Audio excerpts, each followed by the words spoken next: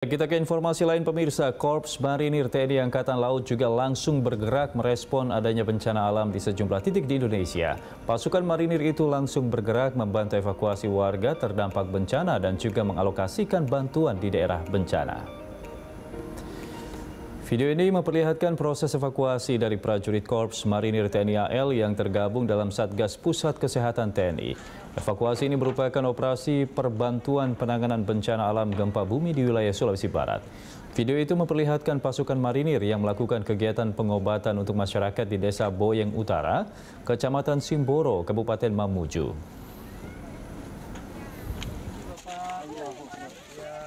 Saya dokter Mahesa ya Pak. Inya. Gimana ceritanya? Eh, ini dari rumah sakit. Dari rumah sakit. Terus? Ya, eh, tadi saya minta ini ya.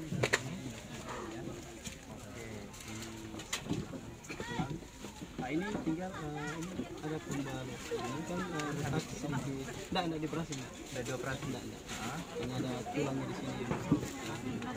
Sebagai ini sih. Ini harus ditekan dari dokter. Ini kan Penyekat biar tidak terlalu banyak gerakan. ya. Untuk kaki kaki bisa digerakkan nggak Bu? jari-jari? Untuk rasa masih bagus. Iya, Masih terasa ya? Masih terasa ya? Iya. Berarti uh, patah di tulang kalian dulu. Tulang manggul. Terus sekarang posisinya di besar. Obatnya dari sana apa? Ada. Boleh kita lihat obatnya? Oh, mbak bapak mana mama tadi ini.